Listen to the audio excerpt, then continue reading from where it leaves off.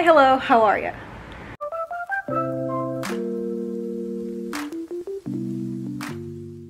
Hello, it is Monday and I'm working from the couch because it's 102 outside I think. Tomorrow it's gonna be 108, which, uh, just love California. Um, and that's how it's gonna be all week. So I'm gonna be pretty much here after lunch because it's too hot to work in the second bedroom. Continuing on with the saga of will I ever get my kitchen table. I called today and the girl was telling me that it got delivered to like their warehouse instead of the actual store for some reason. And she was like, but it says right here that you're gonna get it June 13th. Like, you might even get it a couple days before that. And I was like, babe, today is the 14th. Yesterday was the 13th. and she was like, oh, right, okay. We'll just call back in a couple of days, and if we still haven't received it, then you'll file a claim. And I was like, and what does the claim do? She's like, well, it lets them know that we haven't received it. So not that we're getting a refund and not that it's doing anything for the table, just so that Home Depot knows we haven't received it. I'm just to wait until like Thursday or Friday and hopefully by then we've heard something. If not, I'm to call again and we might just ask for a refund and go pick up a table somewhere else because this is so frustrating. Um, especially that it just seems like nobody knows what's happening and I 100% don't blame the girl that's there because she doesn't create the website, she doesn't deliver packages, she's not in charge of any of that. It's just frustrating that nobody seems to know what's going on. So that's where we are with the table. Also, the stand that I purchased that was supposed to have the three tier baskets is supposed to get here today. Was looking at it, I was like, you know what, I never checked how big the baskets are. I looked. Down at the very bottom of the description, it says a it's a counter display which means it's like two feet tall. That's not how tall I thought that it was, and I'm very upset about that. So it's getting here today. I'm going to request a re, re I'm going to request a refund and take it to the post office hopefully tomorrow during my lunch. I ordered a different one off of Amazon that's they're like wire baskets. It's the same like three tiered and they come with white like canvas bags on the inside. I'm just frustrated with all this. I just want my house to look nice. I just want to be happy here. I just want to eat at a dinner table. Is that too much to ask for? I don't understand. Ugh. Reading wise, still reading the Mysterious Benedict Society. I'm on page 2, 106. Um, making slow progress. Like I said, it's a little bit slow, but also the chapters are really long. I think I'm only on like the fifth chapter and I'm on 100 pages. So they're about 20 to 25 pages each. Um, all of the kids have accepted the mission. They're now staying at the like house that Mr. Benedict runs and they have been told that the mission is that or part of the mission is that somebody is sending out messages that are like coded in the radio and the TV and they're being like inputted into children's brains um and a bunch of people have gone missing so they're that's what they're going to be trying to figure out. It's a little hard to explain um, and mr benedict used to be like highly regarded in the like scientific community and now everybody just thinks he's a crackpot so even though he stumbled upon something that's really serious nobody believes him. He's narcoleptic. He does all these crazy experiments. So they're just like ah whatever. We don't really believe you. And even when somebody finally did all of the people that were working with him or that he talked to went missing. Um, so it's interesting. I just haven't done too much reading in the last couple of days. Uh, my hands are feeling better, so I did do a little bit of crocheting last night. Um, and I might see actually if this is on Scribd, because then I can crochet and listen to it tonight. I think that's a good idea. So I'm going to get back to work. Pray for me in California with this heat. I don't know what I'm going to do. I would go into the office so that I can be in the AC, but then that means that I'd have to put Marcy outside in the backyard. And while dogs can withstand more heat, she has black fur and that just, I don't feel right leaving her outside when I know that I could be home with her and she could be inside. So I'm gonna be home all week and I'm gonna get back to work now. Hello, happy Sunday. Uh, I think the last time I updated you guys was Thursday and it's just been a busy couple of days. I don't know if you can tell, but my face is sunburned. I did put uh, like a tinted moisturizer on. Not very well though. Um, just to kind of try and pretend like I'm not sunburned. Uh, but I am. I went to the beach yesterday with my boyfriend and his family to celebrate Father's Day. It's his brother-in-law's first Father's Day. Um, and obviously Father's Day for his dad and we had a really good time. Now I'm going to Starbucks to get something to drink. Um, I'm gonna get a water as well. I did drink water yesterday but not enough for like having been gone all day. Um, so I'm gonna go get a drink and then go to the bank to pull out cash for Skylar and then go to the grocery store. That's pretty much all I have planned for today. I'm out it's like 10.30. I wanted to be home before 12 because I, I don't want to get any more sun exposure. Um, and it's going to be another warm day, so I'm going to be in the house. I did finish The Mysterious Benedict Society. I gave it a three star. There just wasn't enough that kept my attention. Um, I think maybe because I was crocheting, I just kept putting it down. I would read like one or two chapters and then crochet, and then one or two chapters and then crochet. Uh, so I think that affected me a little bit, but there just wasn't a like anything that was really, really grabbing me and making me want to continue, honestly. Um, but it was good. Five, three stars is good, four stars is great, five stars is amazing. That's just how I kind of rank it. Um, they end up foiling Mr. Curtain's plans. Um, Milligan is Kate's dad, which makes some sense, I guess. It was just a sweet ending. Um, they're off the island now. They're back at the orphanage. Miss Perumal, who was Reynie's tutor, um, adopted him. Kate's now with her dad. Uh, Sticky's parents want him back, I guess after, I mean the broadcasting is what was kind of making them like greedy people, but they have spent the last few years looking for him and realizing that like, you know, they love their son and that they were bad parents, which was super sweet. Um, and Mr. Benedict adopted Constance and Constance is kind of, she was what helped them break the machine. The whole time Throughout the entire book, I just could not understand what her purpose was.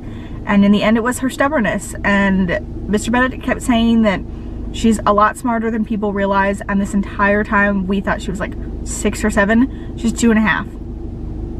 Which explains why she is so incredibly smart because she's got the like knowledge of a child who is, you know, seven or eight years old but she's two and a half, which is, or like two and 11 months or something like that, which is crazy. And she sits in the Whisper, which is the machine that Mr. Curtain uses to send out the messages. And it's like also controlled by his brain. And it sort of gives you like a euphoric feeling when you sit in it, which is why the messengers crave their like special secret privileges so much.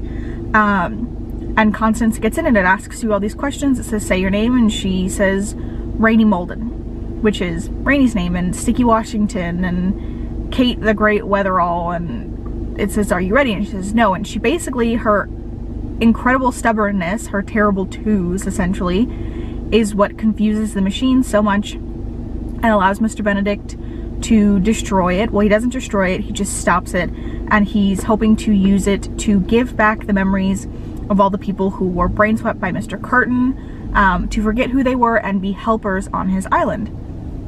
Um, I enjoyed it. Uh, I want to continue on with the series, but probably not for a while.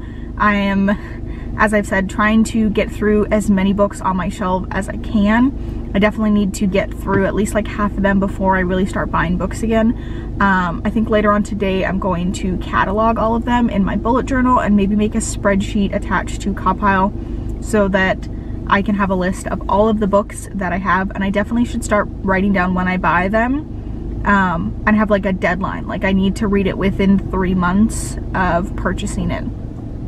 Uh, so that is my update. I don't know if I'm going to do any more reading today. I might. I'm mostly going to be crocheting. Um, but we'll see. I will update you guys later. Good morning. Happy Monday.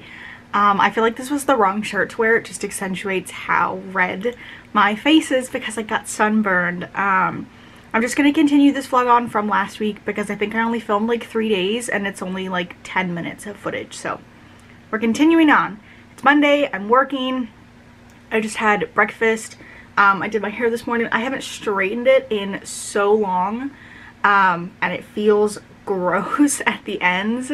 That's my least favorite thing about the blonde is that it just always makes my hair really brittle.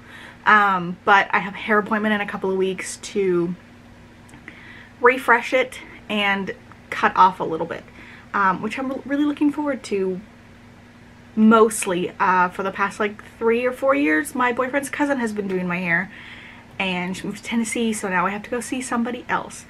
Reading wise, I started Unravel the Dusk last night and I am 107 pages in, something like that. And there's just over 300, about 350. Um, so I made really good progress last night. I was like, I'm only just going to read a couple chapters. And there just wasn't a good stopping point where I was like, okay, nothing's happening. Let's put it aside. Um, this is book two in the Blood and Stars duology series. I'm not sure. Um, the first book is Spin the Dawn. It's by Elizabeth Lim. Um, and it's about our main character, Maia. She goes to she goes to the palace to compete to be um, the emperor's tailor but she goes disguised as her brother um, who is supposed to be going in place of her father her dad is just hasn't been doing well really since her mom passed away um, so she knows that her dad can't go um, but she can go in the place of her brother. She had three brothers, two of them passed away. Um, they were killed in war, and her third brother comes back, but his legs don't work. He's paralyzed. So she knows that he can't go, so she goes dressed as him. Um, eventually, she does get outed as a woman, but because she's so good, the Emperor decides that it's okay. Um, and it's you have to read the book or go read the synopsis. She meets the enchanter who helps the emperor look young basically and be very charming. Um, and he is not currently in this book. We did get like a small snippet with him. Um, but they are in love, but she told him that he needs to go and be free of the palace and she will go back and handle the emperor. Um, who is supposed to be getting married to Lady Sarnai, who is the daughter to the like opposing kingdom. Um, and she doesn't want to. She said that she she literally said she would rather kill herself than marry Emperor Khanujin.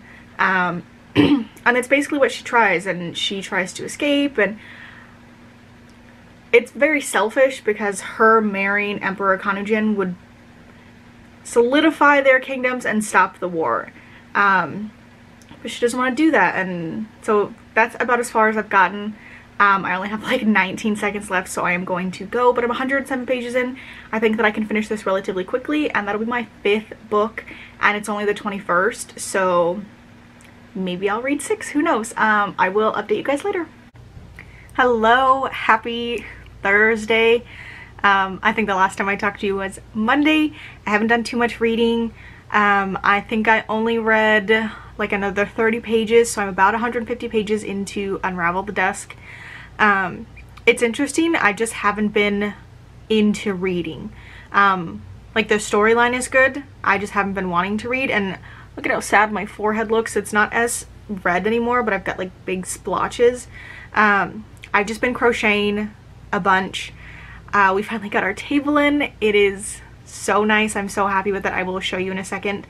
Um, but I'm definitely going to be doing a lot of reading this weekend. Skylar is going to the river with his dad um, his dad's two best friends from like junior high and their sons Dane and Patrick are Skylar's like childhood best friends which is I just think it's so cute that like his dad and his best friends had boys who are all like the same age and they're all best friends. Um, so they're going I'm gonna paint the living room while he's gone.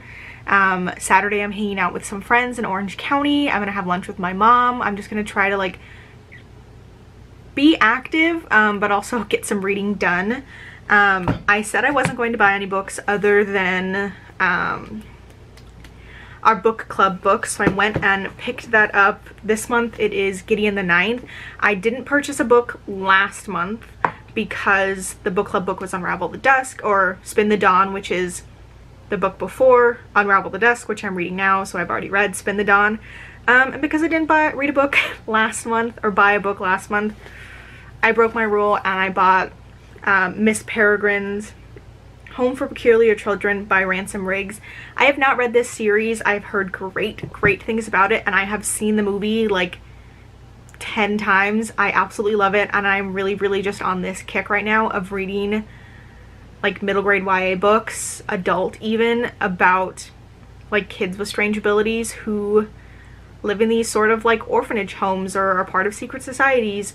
So I bought it when I was there um, and I'm really looking forward to reading it. I need to add both of them to my physical TBR catalog list um, and update it so that'll put me at 52 I believe but I'm planning on reading Gideon the Ninth as soon as I finish Unravel the Dusk which I'm hoping to finish like in the next day or two.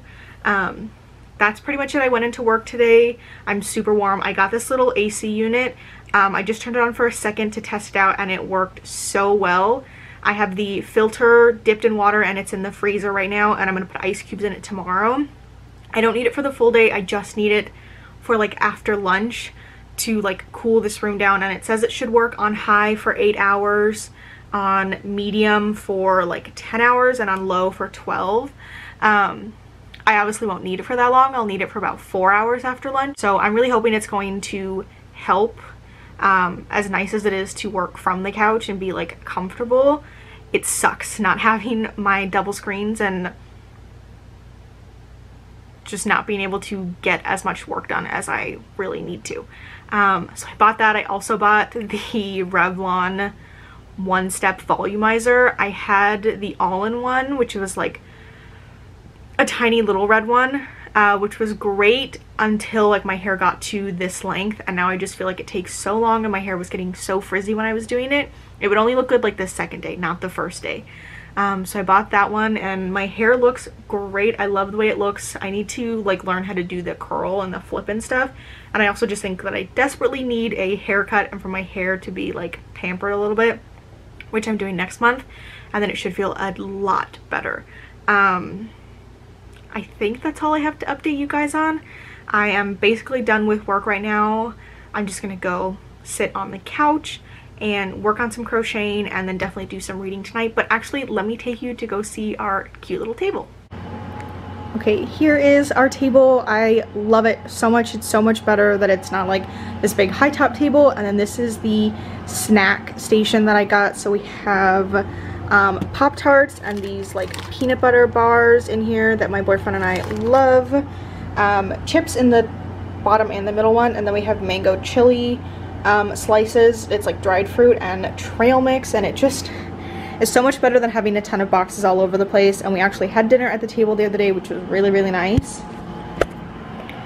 and I'm just enjoying it. I'm super happy with it. I'm actually to be painting, this is the wall that I'm talking about, painting this weekend while Skylar is gone because just look at the color of it. Like I feel like if these walls were white, then our apartment would feel a lot brighter. Um, and now without the big table, we can actually open these up and it brings so much light into the apartment. Obviously I don't want it open like when it's really hot, so I have been keeping them closed, but in the future, um, I'm basically just trying to make it a little bit nicer. We don't like the apartment, but if we're living in it, why not try to enjoy actually being here. So it's really, really hot. I'm gonna go put my hair up and sit on the couch and I will update you guys later.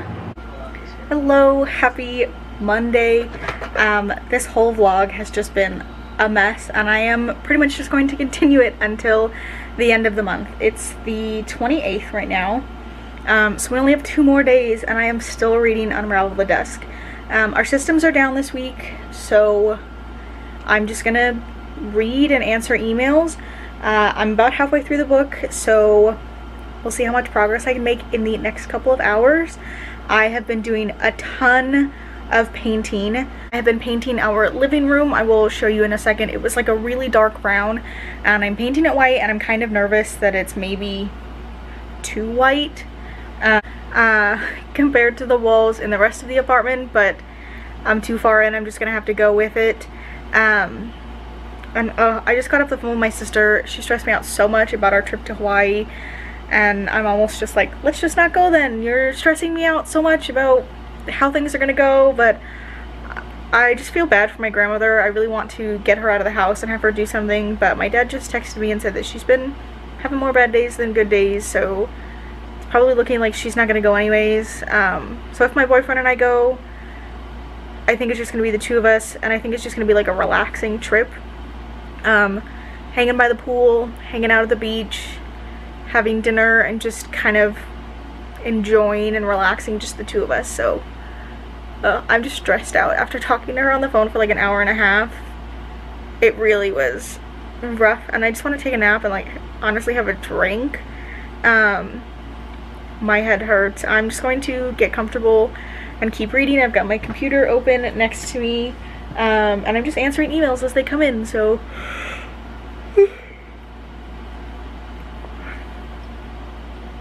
that is pretty much the plan for the rest of the week. After I finish Unravel the Dusk, I am possibly going to read Gideon the Ninth. That was supposed to be the um, book club book for the end of this month, and they ended up doing the live show yesterday, and I didn't realize that it was coming up so soon, so who knows when I read it or what I will read next, but I'm going to go and hopefully keep reading, and I will definitely end this on the 30th, and I don't even know how much footage I'm to have to edit for this vlog. Ugh. I'm just tired. Hello from my bedroom again. It's much later. Um, I think it's almost 6 o'clock. I just ordered dinner. I was telling myself I was going to be really good, but honestly, after the conversation with my sister, I'm just, I'm done. I just want food to be delivered. I'm going to stay in bed. Um, and I did finish Unravel the Dusk. I ended up giving it a 4 out of 5 stars. It wasn't nearly as magical and like captivating as Spin the Dawn was, um, but it was still really good. 4 stars, like I said. I just wasn't... I was very intrigued in the first half, um, or like the first third, and then not so much the end. I just really wanted to know if Maia was going to turn into a demon or not. There were some super, super sweet moments at the end where Maia gets to see the ghosts of her two oldest brothers, Sendo and Finlei, who died in the first book. They went off to war and unfortunately did not come back. She does have one brother um, who does come back, but his legs are broken and he has to go through like a ton of rehabilitation and he's just not the same person that he was when he left. Um, and she really misses her brothers and they've been close her entire lives and it was really, really rough after losing her mom when she was really young, to have a brother, to have two brothers die, one come back and just be a shell of himself, and to watch her father just crumble basically um, but she calls on the spirits to come and help them fight this war. And her brothers Sendo and Finlei show up and it's just was super super sweet. And she was the closest with Sendo and he kind of like stays behind for a second. And he says that you know they're so proud of her and that you know she was such a shy little girl when he left. And that he's so sorry that they didn't come home but that their mother would be so proud of who she was and that she needs to stay and be strong and take care of her brother and her dad. And I honestly teared up at that. It just made me so sad, but it was so incredibly sweet. So I really, really enjoyed that. That's why it was, it made it into a four star, honestly, for those like moments at the end and for how much I really did enjoy the beginning.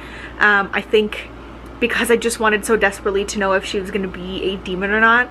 I might I wasn't fully in like all the other details but it was still really good so I'm just waiting for food now I'm going to relax. I've got the air on. I'm going to curl up under my blanket. I'm watching Phineas and Ferb. Um, I've been watching it all day, but I just put on like this series now. Um, I was watching it on live TV, uh, but I think I'm going to watch it from the beginning. That's my plan.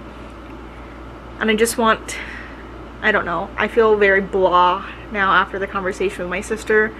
I'm trying to figure out what it is that I want to do. I don't know what I'm going to pick up next, if it's going to be Gideon the Ninth, or I've got, what is it, Reaper at the Gates and Blood and Honey sitting next to me.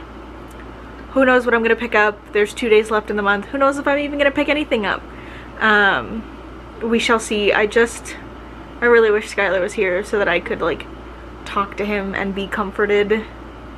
That's really what I want. So I'm going to comfort myself with food. Um, anyways, I will update you guys tomorrow if I decide to do any reading. If not, probably on the 30th to just close this out. Thank you.